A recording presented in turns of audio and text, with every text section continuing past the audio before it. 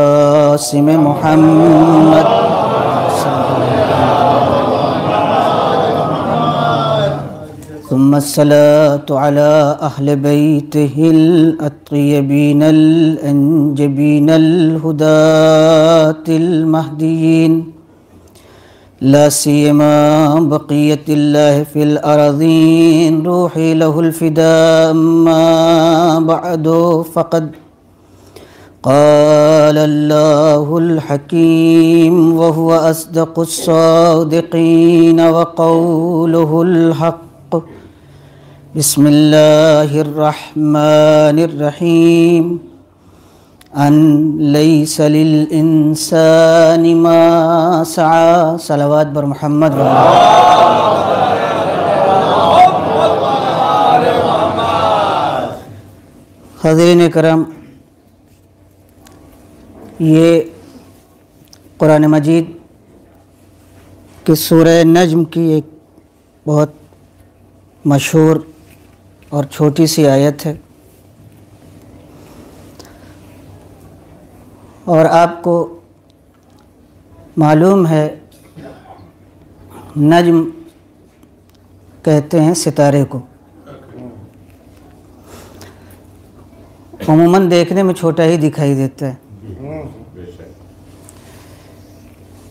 लेकिन नूर की खासियत ये है कि उसको छोटे और बड़े से तोला नहीं जाता। नूर नूर होता है। और अब यहीं से पैगंबर की हदीस समझ में आती है, अव्वलुना मोहम्मद। कि मैंने आपके सामने एक मंतिकी बात कही है, दो दो चार वाली, गणित जिसको आप कहते हैं। हाँ फ़ज़ाइल इस माने में नहीं है कि आप खाली आँख बंद करके। और यही मसला है हमारा और दुनिया वालों से कि हमारे यहाँ हर चीज़ गणित के अतबार से है। हमारे यहाँ आँख बंद करके मानने की कोई चीज़ नहीं है। तो ये सूरा सूरह नज्म शुरू ही होता है कसम से। व नज्म इज़ा हवा। अब ये उर्दू वाली हवा नहीं है, जो बिगड़ जाती है और उखड़ जाती है। हवा का मतलब होता है टूटना। और इसीलिए अरबी में उमूमन कहते हैं, ख्वाहिशात को हवा और हवस। कि हवा के दबाव में इंसान अपनी शख्सियत को खो देता है। टूट जाता है। तवज्जो चाहूँगा मैं आपकी। इसीलिए कुरान मजीद बहुत मामूली मामूली लफ्ज़ों में इंसान की जहन की तरबियत करता है, तामीर करता है रिन्यू करता है, बनाता है। इसका मतलब हम आप बिगड़ते रहते हैं, सुबह से शाम तक। और हमें मजलिस बनाती। कुरान हमें बनाता है। अहल बैत के इर्शादात हमें बनाते हैं। आइम्मा के अकवाल हमें बनाते हैं। सच्चाई हमें बनाती है। ये जो हम अपने जाने वालों को याद करते हैं हकीकी मानों में हम अपने को ज़िंदा करते और वक्त नहीं है, वरना आयत और कुरान की आयतें, उसके बाद हदीसें। बस हम छोटे छोटे लफ्ज़ों में, इसी इसी कुरान में, इसी इसी सूरे में इत्तेफाक है आगे चल के कि वही हंसाता भी है, वही रुलाता भी है, वही मारता भी है, वही जिलाता भी है। कौन? अल्लाह। तो कुरान मजीद कहता है व नजम इज़ा हवा। सितारे की कसम, जब वो टूटा, अब फ़जाइल की पूरी दुनिया है इसमें।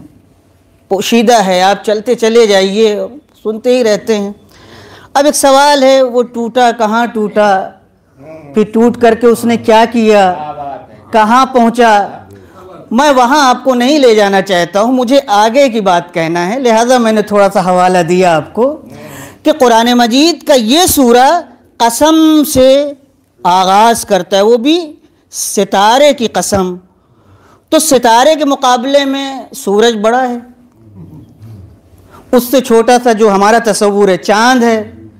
अब ज़्यादा मैं ना बढ़ूँ, क्योंकि साइंस पढ़ने वाले कहेंगे, मौलाना, आप जब पढ़े नहीं हैं तो इसमें इजहार नज़र क्यों कर रहे हैं? और हक बजानिब हैं वो लोग जो ये बात कहें, यही मुश्किल है दीन में। हम इन्हीं साइंस वालों की बात को यहाँ नकल करना चाहते हैं। जब आप दीन नहीं जानते तो इजहार नज़र क्यों करते हैं?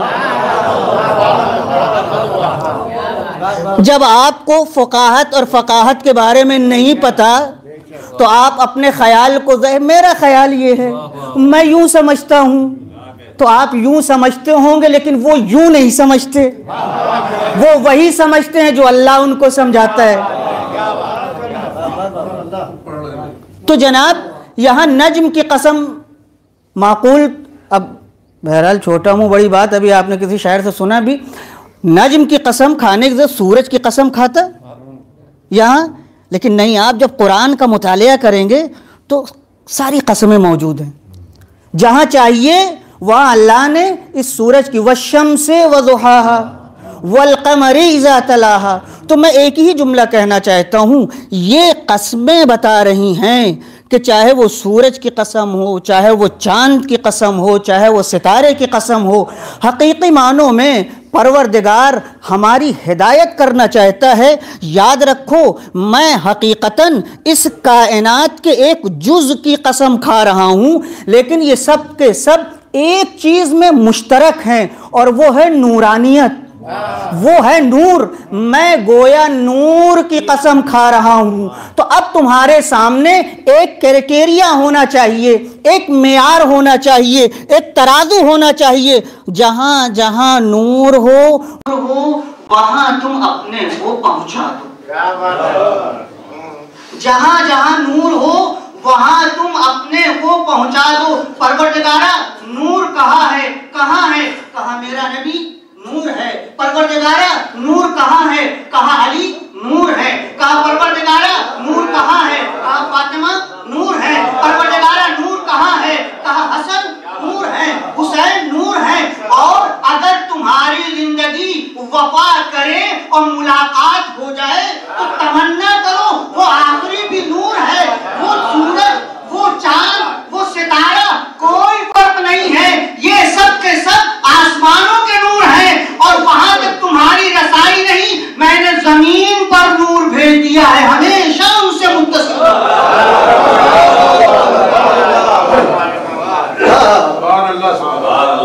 तंगीलें हमने ज़मीन पर रोशन की हैं। ऐसे ही वो हदीस नहीं गढ़ी गई।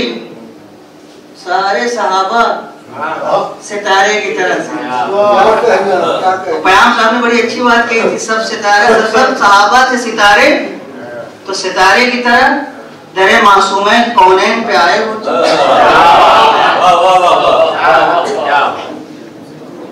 तो उन्होंने कहा से गढ़ी? अब आप यही समझ सकते हैं। भरत मुनासिबत है। वो मुनासिबत क्या थी? भरत सितारे में भी नूर है और पैगंबर ने पहले कहा था। क्या कहा था? अना व अली मिन नूर मैं और अली एक नूर के दो हिस्से हैं, दो टुकड़े हैं। तो अब ज़ाहिर सी बात है, रावी ने पैगंबर के जमाने में या उसके आसपास ये हदीस गढ़ी होगी। और अगर न सही तो कम से कम पैगंबर की ये हदीस उसके कानों से टकराई होगी। तो उसने कहा कि ये साहबा जितने हैं, सब के सब। अच्छा एक गहराई है इसमें, इसको सुन लीजिए वो गहराई क्या है? हदीस बहुत मशहूर है। और तकरीबन सारे इस्लामी फिरकों ने वो हदीस नकल की। उर्दू में एक मसल है। आपने सुना होगा, कहते हैं चोर की दाढ़ी। में ये का तिनका और अगर कहीं कोई मुश्किल होती है तो नफसियाती तौर पर आदमी खुद अपने गरीबान की तरफ़ मुतवजो होता रहता है, चाहे आपकी तवज्जो उसकी तरफ़ ना हो। तो पैगंबर ने बाखबर किया था। खतरे की घंटी बजाई थी। मौजूदा जमाने में ये सब बातें सुनने के लायक हैं और समाज का जायजा लीजिए और देखिए हम और आप किस सफ में खड़े हुए हैं। मैं थोड़ी सी जुरात करता हूँ मिम्बर पे ताकि बहुत वाज गुफ्तु करूँ और बताऊँ मसाइल जो चल रहे हैं उसके एतबार से और जिम्मेदारियाँ क्या हैं। ये मजलिसें यूँ ही नहीं है कि आप रस्म अदा करके चले जाइए। ये कोई फ़ंक्शन नहीं है। इंग्लिश लफ्ज जो इस्तेमाल करते हैं वो ज़रूरत के तहत। क्योंकि फ़ंक्शन में कोई तकदस नहीं मजलिस में तकदस पाया जाता है। पैगंबर ने कहा था सत्तर को उम्मत। मेरे बाद मेरी उम्मत फिरकों में बढ़ जाएगी। और कहा था तिहत्तर फिरके होंगे। और ये भी एक हकीकत है कि हमारे इस्लाम से पहले दो आसमानी मज़हब इस दुनिया में थे जिनका चर्चा था। एक मूसवी जनाब मूसा का मज़हब, और एक ईसवी जनाब ईसा का मज़हब। जनाब मूसा का मज़हब तकसीम हुआ तो वो तकरीबन इकहत्तर फिरके में जनाब ईसा का मज़हब तकसीम हुआ हमने तरक्की की तिहत्तर फिरके बहुत तवज्जो चाहूँगा मैं आपकी। तिहत्तर फिरके में तकसीम होने की बात पैगंबर ने कही थी। तो क्या मतलब? यानी पैगंबर ने कहा था तकसीम हो जाओ। पर यही टेढ़ी फ़िक्र है। पैगंबर ने ये नहीं कहा था तकसीम हो जाओ। जैसा कि लोग उल्टा सोचते हैं। पैगंबर ने खबर किया था कि ऐसे कुछ मज़हब में चोर दरवाजे से दाखिल होने वाले दाखिल होंगे कि जिनके जिस्म पर मज़हब का लिबास तो होगा। मगर रूह मज़हब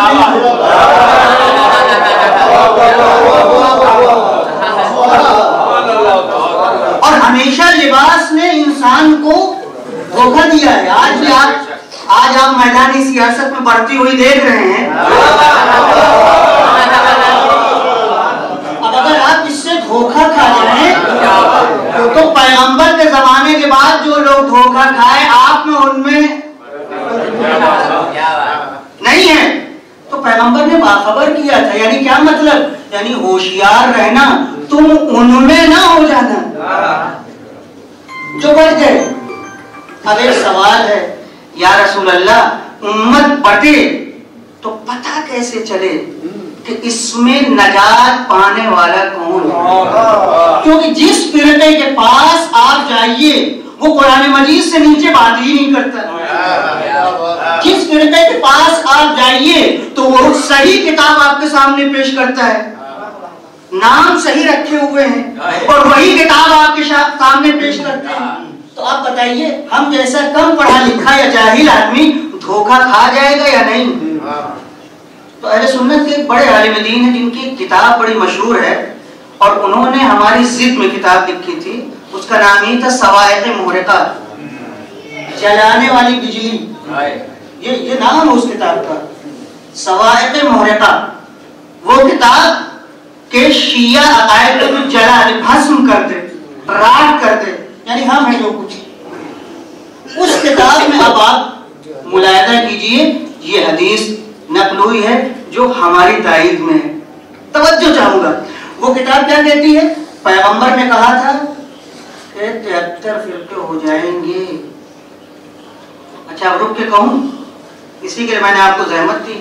और शोहरा ने थोड़ा वक्त हमको दे दिया है तो अब बस उससे इस्तेफादा करना चाहता हूँ। आज जरा अपने समाज में देखिए कुछ फिरकों के नाम बाजगश्त कर रहे हैं। तवज्जो चाहूँगा मैं आपकी ये हमारी ही सोसाइटी का जवान है।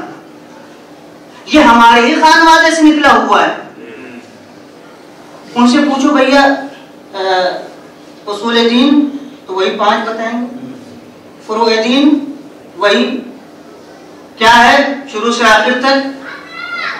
तो जब आप गिना रहे हैं वही बातें तो अमल में क्यों नहीं कर रहे हैं? अब जब हम उनसे कहते हैं तो कहते हैं हम तो फुलानी हैं। जब अमल की बात आती है तो कहते हैं हम तो फुलानी हैं। याद रखिएगा ये जो पैगंबर ने कहा था तिहत्तर फिरते ये मुसलमानों में कहा था। इस्लाम में अब यहाँ मैं अज्ञान मकातिब के ऊपर गुफ्तगु नहीं करना चाहता हूँ लेकिन एक लफ्ज कह के आगे बढ़ना चाहता हूँ। पैगंबर ने जमानत नहीं ली थी। कि शीयों में धड़े और फिरते नहीं होंगे। पैगंबर ने जमानत नहीं ली थी। लिहाजा आज जब हम शिया फिरके का मुतालिया करते हैं तो हमें पता चलता है कि वही बातें शिया फिरकों में भी पाई जाती है। यानी क्या मतलब? यानी वो रास्ता, वो शाहरा जो पैगंबर ने अपने बाद हम शीयों के हवाले किया था कुछ हमारे यहाँ भी ऐसे अपराध पैदा हो गए कि जिनको पैगंबर से दिलचस्पी नहीं है मौलाए कायनात से दिलचस्पी नहीं है उन्हें अपनी दुनिया से दिलचस्पी है। हम नहीं समझते। हम नहीं समझते। हम नहीं समझते। एक मैं मिसाल दे दूँ आप लखनऊ से नज़दीक हैं। गुफ्तगु हो रही है सुनिए। जो वाजह बात है हमारे यहाँ और हमेशा रही है। कहा जा रहा है कि मस्जिद में क्यों नहीं हम खूनी मातम कर सकते हैं?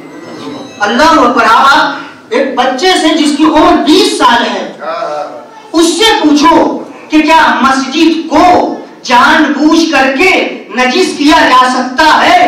तो वो बच्चा जिसने हमारे यहाँ से सुनी है, वो बगैर किताब उठाए हुए आँख बंद करके कहेगा कि हमने उलमा से यही सुना है कि मस्जिद को जानबूझ करके नजिस नहीं किया जा सकता। आप गौर कर रहे हैं और फिर मैं एक सवाल करूँ? मैंने इसीलिए छेड़ा है ताकि मितई में कुछ बातें ऐसी भी हो जाएँ। कि जो आपके ज़रिए से पहुँचे आपकी सवाब जारिया में शरीक है हम ही। को थोड़ी कहा गया मेहनत करो। हर शिया कम्युनिटी का निकला हुआ बाली वो आकिल एक सफीर है अहले बैत का क्योंकि आज तनहा हम नहीं पूरी दुनिया तशना है मारिफ अहले बैत की अगर अगर वक्त रहा तो मैं बाराबंकी वाली बात फिर दोहराऊँगा आज दुनिया अहले बैत के मारिफ की तशना है और उससे ज़्यादा हम तशना है क्यों तशना है इसलिए कि दरियाए इल्म के पास हम हैं ये मजलिस दरियाए इल्म है ये मजलिस दरियाए फकाहत है ये मजलिस दरियाए मारिफ अहले बैत है मगर अभी हमें जो कुछ इन मजलिसों से अब मिल रहा है वो नहीं मिल रहा है जो मिलना चाहिए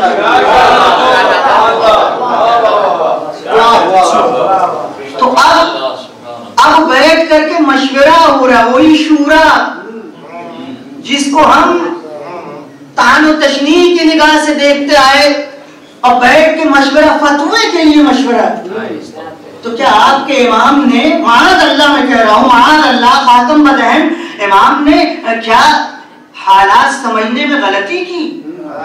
कि जाते जाते हमें लावारिस छोड़ के चले गए कि आज ज़रूरत पड़ी कि आप मस्जिद में बैठ के आप कमेटी और मीटिंग बनाएँ और उसके बाद उसमें फैसला करें कि हम कैसे ज़िंदगी गुजारें। तो सवायत मोहरका ने बाकायदा लिखा पैगंबर फैसला करके गए हैं। एक फिर का नाम, जिसका नाम नाजिया है, अलबत्ता शियों ने नाम अपने लिए इंतखाब किया, वरना तो पूरी उम्मत को कहा जाता है मरहूमा। हम भी मुसलमान हैं, सब मुसलमान हैं। तो कहा जाता उम्मत मरहूमा। वो उम्मत जिस पर रहमत नाजिल हुई और ये सच्चाई है। हर चीज़ को आप तमस्कुर के अंदाज से ना देखिए। उम्मत मरहूमा, पैगंबर ही की उम्मत है। क्यों? इसलिए कि पैगंबर के ज़रिए इस उम्मत पर अल्लाह ने रहम किया। और कैसे? खुद कुरान मजीद में है। सारे नबियों के लिए आपको हिस्ट्री में मिलेगा नबी के होते हुए भी उनकी कौम पर अदाब आया। मगर हमारे पैगंबर की ये खसूसियत थी कि जब तक पैगंबर जब तक आप उम्मत में रहेंगे बिगाड़ के बावजूद आपकी अजमत के पेश नज़र हम उनको हाथ नहीं लगाएँगे।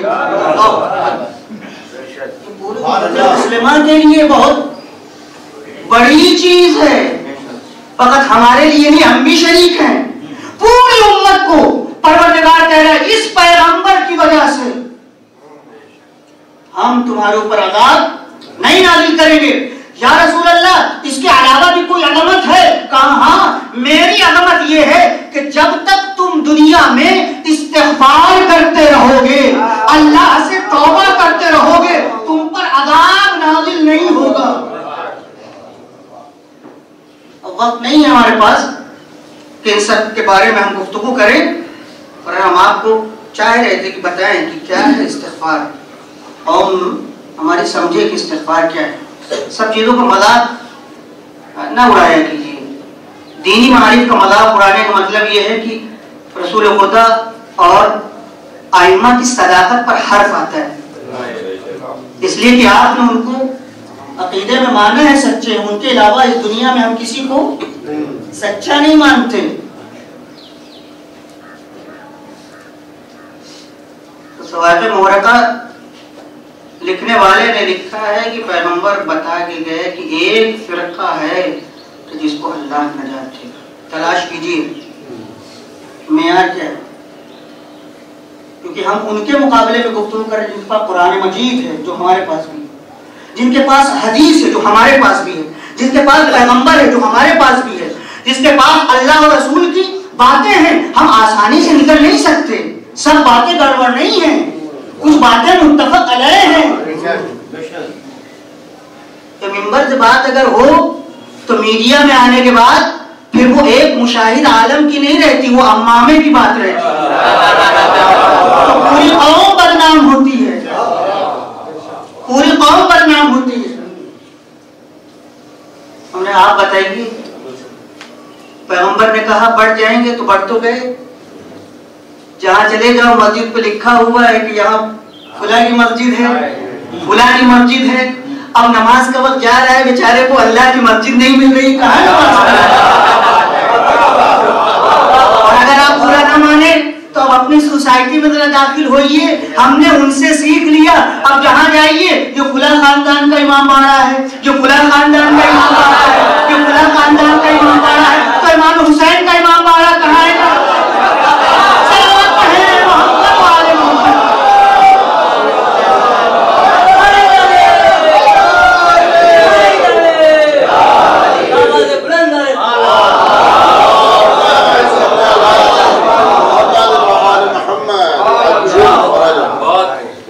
ये जुमला कहे बगैर आगे नहीं बढ़ सकता आज इमाम हुसैन की सही तस्वीर पेश करने की ज़रूरत है। कहीं ऐसा तो नहीं कि हमने गैरों से वो बातें सीख ली जो अहले बैत पसंद नहीं करते। हमारी मरकजियत इमाम हुसैन से। यहाँ अगर हम जमा न कर सके तो फिर कहीं उम्मीद नहीं है। अगर यहाँ जमा न कर सके तो फिर फेल है। जिसको आप कहते फ्लॉप है। फिर गड़बड़ है, समझ लीजिए। तो इन्होंने कहा, सतहत्तर को उम्मती मेरे उम्मत तिहत्तर फिरके में बढ़ जाएगी। बढ़ गए। नजात किस फिरके में वो भी तो बता के जाइए, क्योंकि ये मुमकिन नहीं है कि पैगंबर अधूरी बात कही। ये मुमकिन नहीं है कि नजात का रास्ता दिखाने के बाद फिर हलाकत में हमें डाल दें। ज़रूर मैं मेयार बताया तो अब इन्हीं की किताबों से इन्होंने कहा बहुत तवज्जो चाहूँगा। फरमाते हैं सुनिए फरमाते हैं कि पैगंबर ने कहा मसलो अहल बैती। मसले सफीनत नूही। मन रकिबहा नजा। व मन तखल्लफ अनहा गरिका व हवा। इसी किताब में है मेरे अहले बैत की मिसाल। या रसूल अल्लाह क्या फरमा रहे हैं? फरमाते हैं मेरे अहले बैत की मिसाल मेरे घराने की मिसाल क्या है? नूह की कश्ती की तरह से यानी मेरे अहले बैत वही फरीजा रखते हैं जो नूह का फरीजा कश्ती में था। तवज्जो चाहूँगा जो नूह का फरीजा कश्ती के लिए था मसलो अहलबैती का सफीनत नूहिन फिर आगे मन रखे बहा जो इस कश्ती पर बैठ गया, जो इस कश्ती में सवार हो गया, नजात, तवज्जो चाहूँगा, वो नजात पा गया। वमन तखल्लफ अनहा, और जो इससे दूर रहा और इस कश्ती में नहीं आया गरका वो डूब गया, वो हवा और टूट गया, बिगड़ गया। तो अब पैगंबर ने हदीस कश्ती नूह बता करके पूरे उम्मत मुसलमान को हिदायत का, नजात का, कामयाबी का, शहादत का, फलाह का, जन्नत का, कुरान मजीद का और अपना रास्ता दिखा दिया। याद रखो, ज़िंदगी तुम गुजारो जैसे भी मैं अभी उस पर कुछ नहीं कहना चाहता, लेकिन जब तक तुम मेरा कलेमा पढ़ते हो, तुम्हें ये फ़िक्र होना चाहिए कि अहले बैत के साथ ज़िंदगी बसर हो रही है या अहले बैत से हट करके ज़िंदगी बसर हो रही है तवज्जो चाहूँगा मैं आपकी या रसूल अल्लाह आपने क्या मीजान दिया? आपने क्या तराजू दिया एक ऐसी मीजान फकत तनहा उम्मत मुस्लिमा के लिए नहीं। अमलन, जब हम अपनी सोसाइटी में वारिद होते हैं तो हम यही देखते हैं, अहले बैत का नाम तो बहुत लिया जाता है, मगर अमल में अहले बैत नहीं दिखाई देते। इसलिए पैगंबर ने क्या कहा? मन रखे बहा देखिए मुमकिन है कि कश्ती हो आपके सामने और आप साहिल तक पहुँच भी जाएँ, मगर किसी वजह से आप कश्ती में सवार न हो। इसीलिए पैगंबर बहुत फसी फसीहुल अरब थे। लिहाजा उन्होंने कहा, ये नामुमकिन है कि तुम कश्ती की तारीफ़ करो, साहिल तक पहुँच जाओ, उसके बाद कश्ती में सवार। मन रखे बाहर, जो इस पे सवार हुआ सवार होने का मतलब क्या है? सवार होने का मतलब ये है, तवज्जो चाहूँगा, जो ज़िंदगी इनकी है, वही तुम्हारी ज़िंदगी होना चाहिए। अब मैं वजाहत कर रहा हूँ, जो ज़िंदगी इनकी है, वही। अब ये सवाल होता है, अब क्या बताऊँ? बहरहाल इसको आपने बहुत से अंदाज से सुना होगा, लेकिन उमूमन लोग कहते हैं, हम उनकी तरह नहीं हो सकते, कद अन आप उनकी तरह नहीं हो सकते। कद अन हम और आप उनकी तरह नहीं हो सकते। मौलाए कायनात ने नहजुल बलागा में इस मसले का हल बताया है। उन्हीं से हम पूछते हैं, उन्हीं के मानने वाले हैं। मौला, तब क्या करें? कहते, तुम मुझ अली की तरह नहीं हो सकते। मैं तुम्हारा इमाम हूँ। मगर अल्लाह की पाकिजगी में, तकवे में, तहारत में, दीन पर अमल में तुम मेरी मदद करके मेरा साथ दे सकते हो। देखिए अब रास्ता दिखाया मौला ने। अब कितनी सलाहियत है तुम्हारे अंदर? कितनी ताकत है तुम्हारे अंदर? दो रकत नमाज़ पढ़ सकते हो सुबह की? पढ़ सकता हूँ। ठंडक है। मुश्किल है। मगर कर सकते हो हाँ कर सकता चार रकत जोहर की और चार रकत असर की का पढ़ सकता हूँ। दस दस किलोमीटर पैदल लोग चल लेते हैं। पाँच मिनट नमाज़ में। मैं मिसाल दे रहा हूँ। हम अपनी ताकत को आजमाएँ, इमाम ये कहना चाहते हैं, मैं तो हज़ार हज़ार रकत नमाज़ पढ़ता था। जी, शक हो गया जब ये तारीख में जुमला नकल हुआ कि अली इब्ने अबी तालिब हज़ार रकत नमाज़ पढ़ता था अलबत्ता जाड़े की रात की बात है। गर्मी की रात की बातें नहीं है। हमने कहा, गणित के एतबार से हर चीज़ है। ही नहीं है कि आप मान लीजिए हमने नकल किया। तो ये जब शक पैदा हुआ तारीख में या किसी ने शक पैदा किया ये तो शिया उलमा और ये लोग तो ऐसे ही बस बढ़ा देते हैं अपने इमाम को। तो मालूम है, हमारे एक आलिम दीन, अल्लामा अमीनी, जिनकी किताब अल गदीर है, जो हमारे हिंदुस्तान आकर के उन्होंने एक जिल्द किताब मुकम्मल की, और इसी हदीस सफीना जो मैंने अभी आपके सामने नकल की है, इसके ऊपर साहिब अवाकातुल अनवार, जो लखनऊ के आलिम दीन थे, उन्होंने तकरीबन तकरीबन 700 सफे की किताब लिखी। इसी हदीस सफीना पर। साहिब अलगदीर कहाँ है लखनऊ। इन्होंने जब पढ़ा तो एतराज़ ये है कि क्या वाकयन मौला कायनात? हज़ार रकत नमाज़ पढ़ सकते हैं? तो जैसे लैब में बैठ के साइंटिस्ट तजर्बा करके साबित करता है वैसे अल्लामा अमीनी ने एक रात तवज्जो चाहूँगा एक रात मशहद मुकद्दस में इमाम रजा की जियारत पर जा करके, जाड़े की रात में उन्होंने नमाज़ पढ़ना शुरू की और जब भोर हुई तो उन्होंने अपने मौला का कसीदा पढ़ा।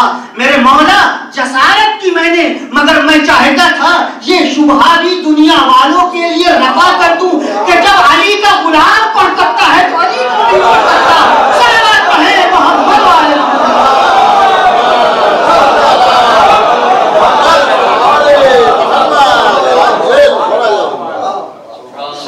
किया ये ऐसी बातें नहीं आज अगर कहा जाता है, उलमा से नज़दीक रहो, उलमा से नज़दीक रहो, उलमा से पूछो तो इन उलमा की बात होती है। हम जैसे कम पढ़े लिखे लोगों की बात नहीं होती।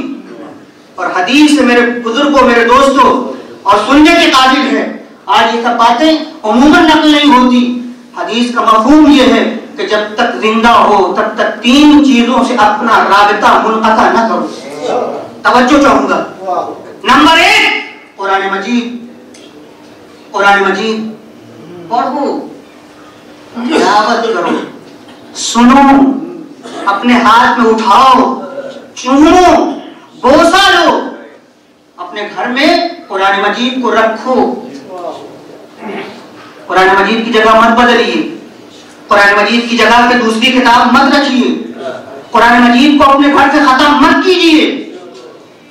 तवज्जो चाहूँगा मैं आपकी कुरान मजीद से रखो तुम्हारे घर में बैठे थे मुसलमान नहीं पढ़ना आता। कोई बात नहीं, पर कुरान तो घर में रखो। रहे पर रहे तो कम से कम, खुले तो। नंबर एक। नंबर दो, जब तक ज़िंदा हो, आलिम से राबता न तोड़ना। और चाहूँगा मैं आपको। अगर आलिम से राबता रहा तो कभी कोई शुभा, कोई एतराज़ आपको परेशान बशर्ते के आलिम हो। दुनियादार हो। खाली लिबास पहने हुए ना हो। उसकी बातों से पता चले उसके पास इल्म है। उसके अमल से पता चले कि वो तकवे और तहारत वाला है। एक कुरान दूसरे आलिम तीसरे मस्जिद। मस्जिद से राबता मत तोड़ो। और मैं ये जुमला कहना चाहूँगा आपसे और मैंने ये पुणे में अभी अयाम फातिमिया में कहा कि मैं दुआ देता हूँ और एहतराम करता हूँ उन जवानों का कि जो मस्जिद में तो नहीं आ पाते मगर मस्जिद चूम के निकल जाते हैं। मैं उनको सलाम क्यों? इसलिए कि मैं उनसे पूछूँगा या ठहर करके उससे पूछे क्यों मस्जिद तुमने चुना। वो कहेगा, इसलिए कि ये अल्लाह का घर है, कम से कम उसे पता तो है मैं बनता हूँ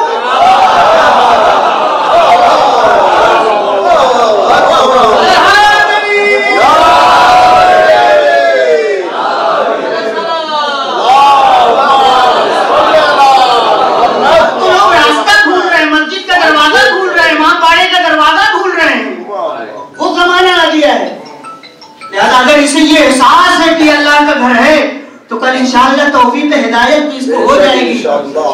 और इसीलिए शायद कहा गया कि जब तक ज़िंदा रहो तीन चीज़ों से राबता मुनकता न करो। एक कुरान दूसरे आलिम और तीसरे मस्जिद। सुभान अल्लाह सुभान अल्लाह आप देख लीजिए पैगंबर की ज़िंदगी का मुताया कर लीजिए अहले बैत की ज़िंदगी का मुताया कर लीजिए।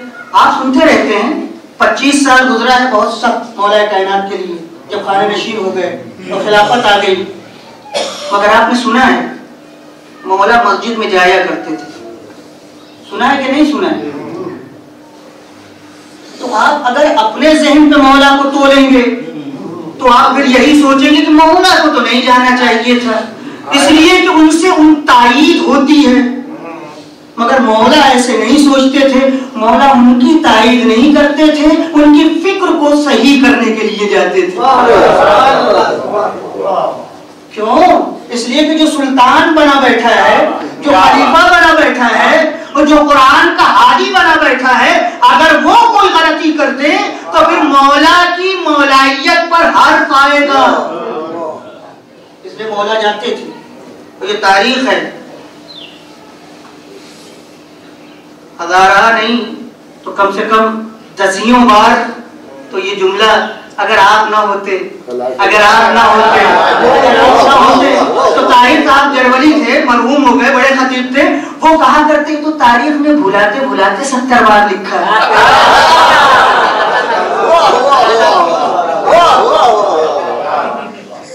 वरना न जाने। और कसीदा पढ़ा है हज़रत उमर रज़ी अल्लाह ताला जी कसीदा पढ़ा है। क्या कसीदा खुदा वो मुझे दिन न दिखाए। कि जिस दिन कोई मसला पेश आए और अबुल हसन उसके हल के लिए अल्लाह अकबर इसी एक जुमले में तो मौलाए कायनात के सारे फजाइल सिमट करके आ गए। अब आप उनको कुछ कुछ भी समझते रहिए मगर उन्होंने साबित करके दिखा दिया अपने एक जुमले से कि मसनद पर बैठना और है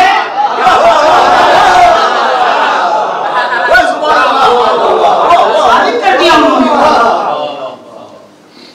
क्या कहने लगे मैं आ रहा हूँ थोड़ा सा बस उसके बाद तमाम एक और लफ्ज अब पता नहीं क्यों मूड इधर अब ये बातें आ गई सुन लीजिए बिस्मिल्लाह हो गई, बिस्मिल्लाह एक दिन तशरीफ़ फरमा थी मोहतरमा, जनाब आयशा और उनके वालिद माजिद, जनाब हज़रत अबू बकर। और मोहरा कायनात,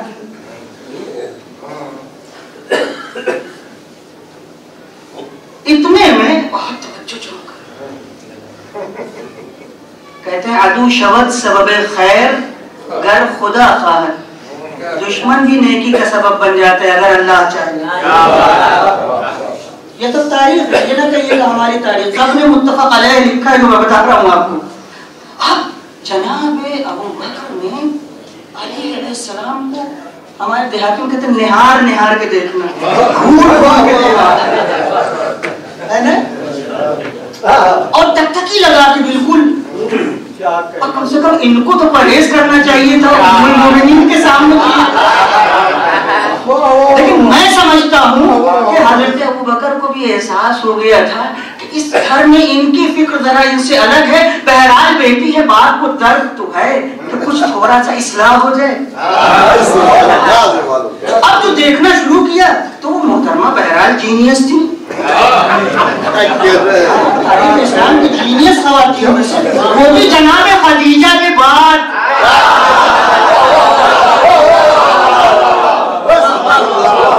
बड़ी जीनियस थी बड़ी जीनियस बड़ी हदीसें नकल की हैं भाई बड़ा हाफिजा कवि था बहरहाल इसी बहाने हदीसें पहुँच तो गई तो मैं तो कहूँगा दो औरतों का कारनामा बहुत अहम है एक ने माल लुटाया एक ने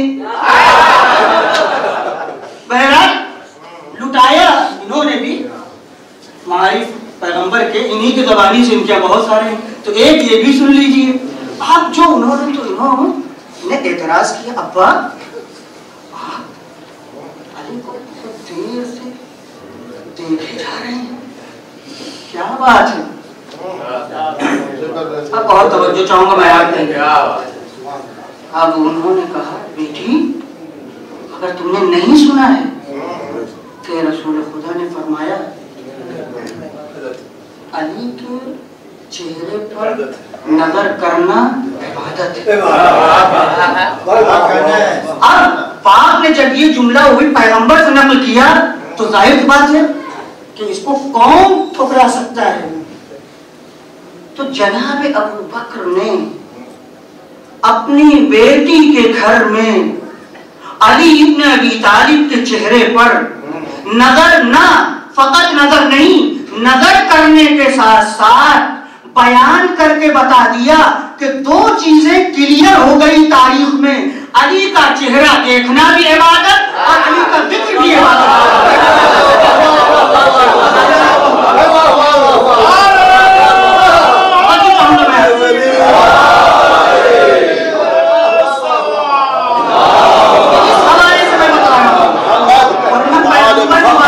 हमारे सर आँखों पर उसके मुकाबले में तुम किसी को सेठते भी नहीं। पैगंबर ने कहा था, ज़िक्र अली जिन इबादत अन्नज़्र अला वजह अली जिन इबादत। ये पैगंबर की हदीस है। और ज़ाहिर बात है, इन्होंने नकल की। अब आखिरी जुमलात में जो मैंने आपके सामने आयत पढ़ी कुरान मजीद कहता है अल्लैसा लिल इंसान इल्ला मा सहा। बस इंसान के लिए उतना ही है जितना वो इस दुनिया में मेहनत करता है। तवज्जो चाहूँगा। और वो अपनी तलाश और कोशिश को देख लेगा। अब देखिए दो बातें हैं। हमारी कोशिश इस दुनिया में तो एक पुराने मजीद ने कानून दिया। अब आपको जहाँ जहाँ कामयाब होना है दुनिया के मामलात में आपको इस कानून के तहत उतनी ही मेहनत करने की ज़रूरत है। एक तालिब इल्म पढ़ना चाहते हैं इम्तिहान में कामयाब होना चाहते हैं, ज़ाहिर सी बात है। तो ये कानून यहाँ पर भी कि इसको उतनी ही मेहनत करना पड़ेगा, ताकि वो कामयाब हो सके। आप बिजनेसमैन हैं ताजिर है बहुत बड़े। तो अब ये नहीं होगा कि सामान खरीदा और दरवाज़ा गिरा करके घर में बैठ के लोग आएँगे ये नहीं है। ये नहीं है। आप दुकान खोलिए जिद्दोजहद कीजिए दौड़ धूप कीजिए। तब अल्लाह ने कहा है कि मैंने इस रिस्क का वादा लिया भूखे नहीं रह सकते। अब मैं अपनी मिसाल दो फ़र्क कीजिए हमें। लोग तालिब इल्म समझते हैं। अब मैं घर में बैठ जाऊँ। इल्म नशर न करूँ। मसला न बयान करूँ। मजलिसें न पढ़ूं किताबें न लिखूं। क्यों? इसलिए कि कानून है। इंसान जितना कोशिश करोगे उतना ही पाओगे। कोशिश में कोताही की। अब यहाँ मसाइल और भी हम बयान कर सकते हैं। सियासी दुनिया से मिसालें दे सकते हैं। लेकिन अब वक्त नहीं है और मैं ले जाना चाहता था एक मंजिल तक आपको। हालात के ऊपर भी हम गुफ्तगू करना चाहते थे कि कुरान मजीद ने क्या कानून हमको दिया? बस एक लफ्ज में समेट करके मैं आपके सामने एक जुमला ये कहना चाहता हूँ कि हमारे उलमा ने हमारे फुकहा ने फकत कुरान मजीद को पढ़ा नहीं। और किया। और फिर वही पुराना जुमला मैं आपके सामने नकल करना चाहूँगा कि एक शख्सियत जो 20वीं सदी में पैदा हुई जब अपने कौम के हालात का उसने जायजा लिया और देखा ये नाम की तो शिया है, मगर शियों के कोई सिफात इसके अंदर नहीं है तो वो खुद ही मैदान अमल में उतर करके आ गए। और का ऐसे काम नहीं चल सकता है। कुछ जहमत उठाना पड़ेगी। कुछ मेहनत करना पड़ेगी। पर फकीर का ये जुमला था कि कौम भी समझदार थी वो समझ गई कि हमारा फकीर कहाँ ले जाना चाहता है। अब कुर्बानियों से वो नहीं डरे शहादत से वो नहीं डरे। अभी मामूली बात थी मगर कौम चूँकि समझदार थी हुसैन के मानने वाली थी लिहाजा वो समझ गई सर से कफन बाँध करके इस फकीर के पीछे आ गए इनकलाब कामयाब हो गया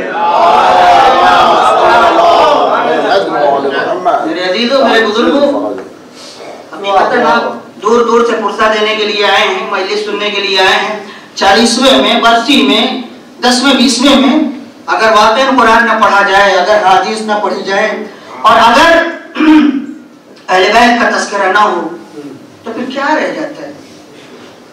हम आपकी तारीफ़ करें, आप हमारी तारीफ़ कीजिए। इसमें क्या रखा हुआ है? मगर हमें इस दस्तरखान पे बुला करके हमारी रूहानी गजा हमें फराहम और आप समझ सकते हैं कि कितनी बड़ी जगह है और क्या है ये जगह। क्यों हम दौड़ दौड़ के आते हैं? एक वाक़ और रहमत तमाम चूँकि ये रबुस्तानी का महीना है और आपके बीबी के हवाले से।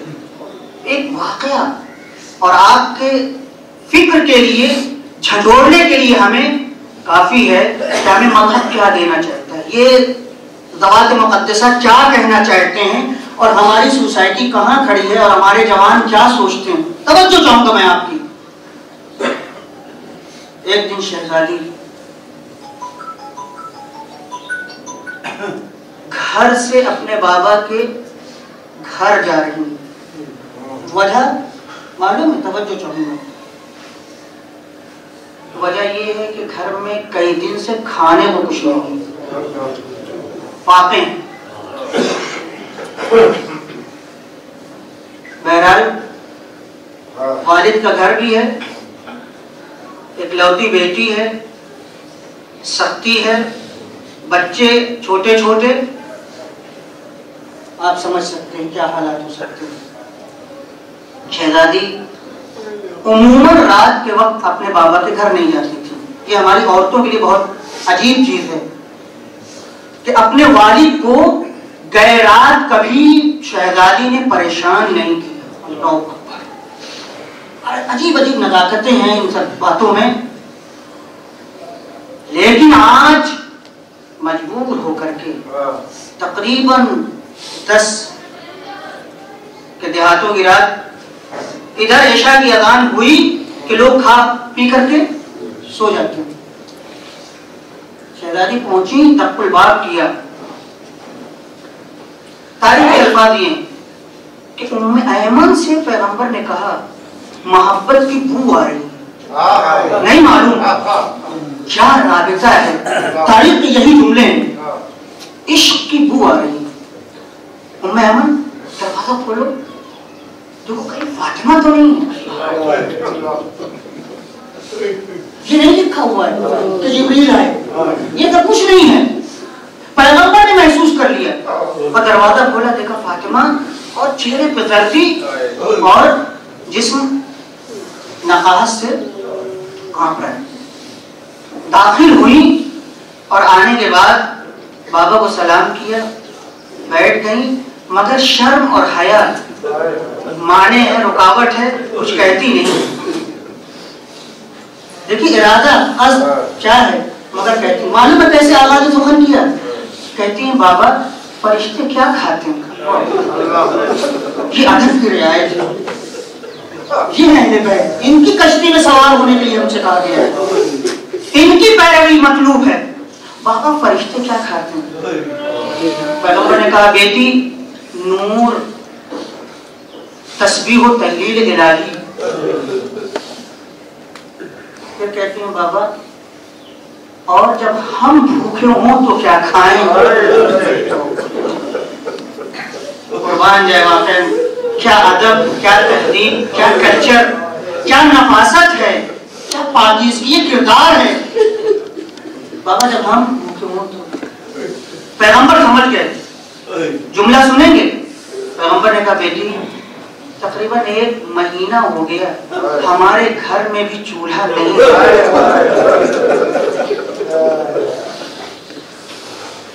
बेटी, एक महीना हो गया, और ये रिवायत हमने उम्मान से भी देखी है, फकत पैगंबर से नहीं, इन लोगों की अखबार से भी है कि एक एक महीना गुजर जाता था और हमारे घर में चूल्हा नहीं जलता खजूर पे इतफा कर लिया पत्ते,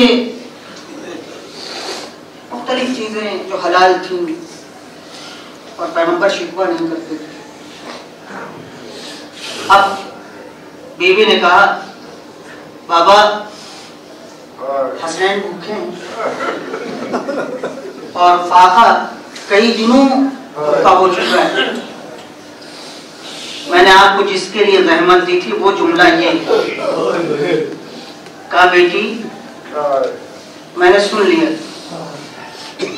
जिब्रील अमीन नाजिल हुए थे और मुझे पाँच कलमे की तालीम दी।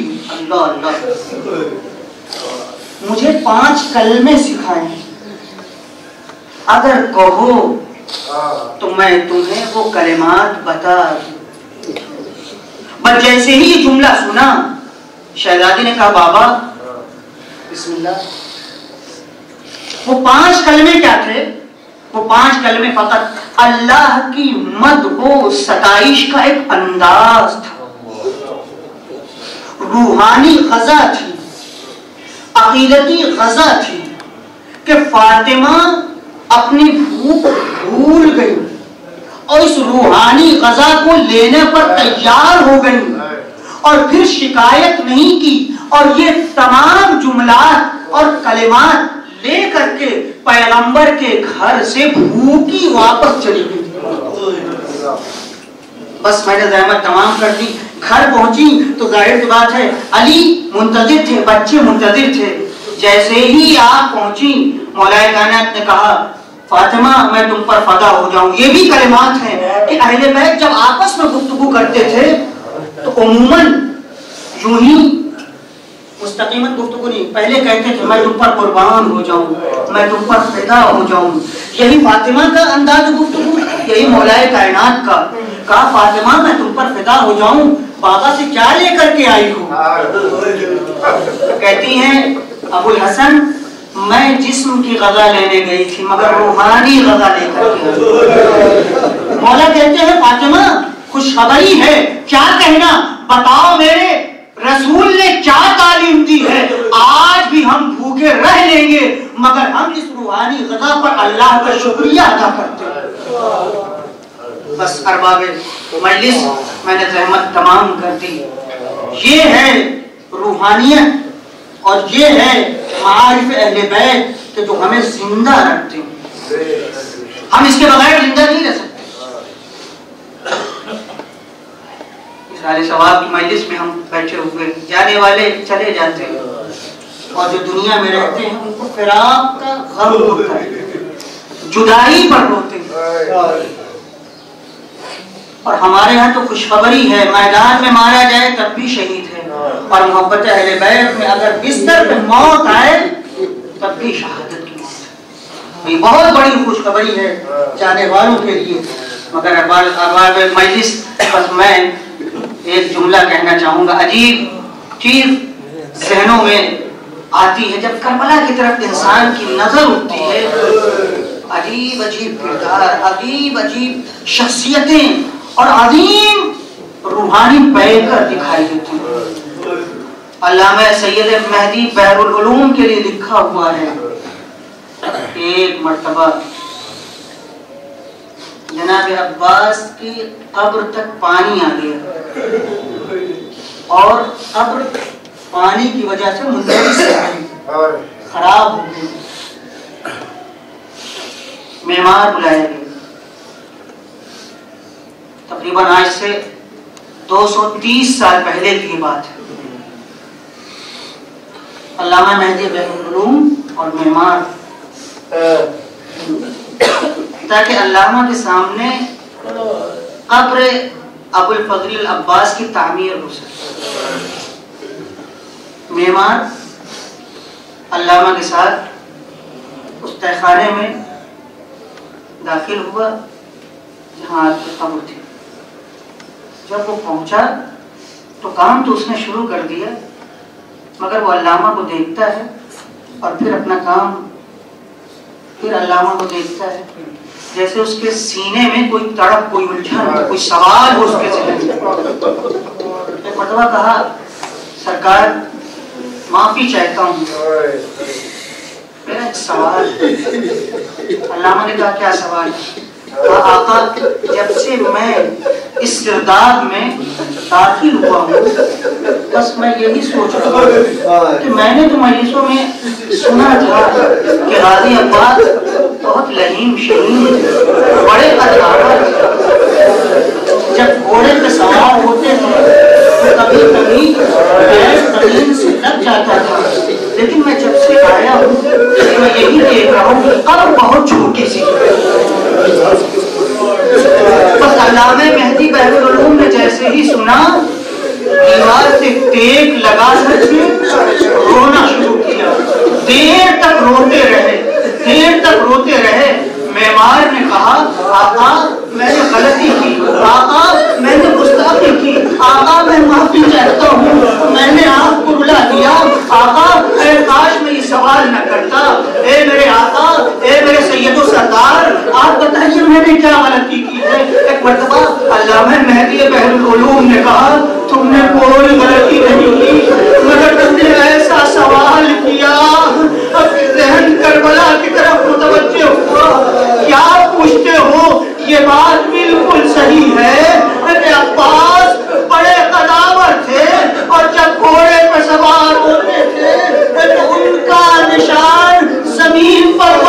जाता था मगर इस कदर दुश्मनी थी कि वो हुसैन से दुश्मनी न निकाल सके जब अब्बास से नज़दीक हुए तो जिसके हाथ में जो असलहा था अब्बास के ऊपर हमला किया बदन को टुकड़े टुकड़े कर दिया कि जब हुसैन मक्तल में आए तो चटाई बगानी पड़ी एक मर्तबा हज़रत से देखा ए मेरे भैया कितने कदावर थे मगर आज ये क्या हुआ भैया मुझे माफ़ करना और बाबे अल्लाह अल्लाह में बहरूल कहते जाते हैं रोते जाते हैं बस आखिर में एक और जुमला कहना चाहता हूँ एक आलिम ने ख्वाब में देखा एक सैयदा आई है, आने के बाद कहती है तुम तुम हमारे बेटे का मसाइल पढ़ते हो मगर फिर भी तुम उसमें कोताही करते हो। एक मरतबा सैयद खादिम ने कहा, शहजादी, मैं कोताही नहीं करता, मैं सारे मसाइल पढ़ता हूँ। कहा, नहीं नहीं, तुम कोताही करते बस आखिरी जुमला।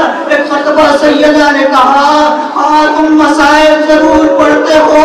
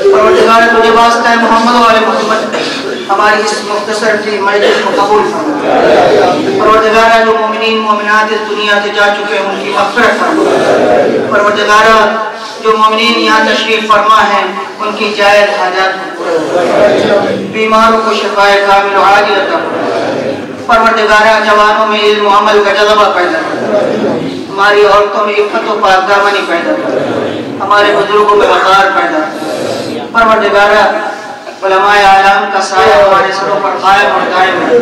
मेरे मालिक, हम तेरी आखिरी हुज्जत, इमाम ज़माना के मुंतज़िर हैं। उनका ज़हूर जल्द अज जल्द फरमा गुजारिश है कि मरतबा सूरह हम तीन मरतबा कुल पढ़कर मालूम हो सके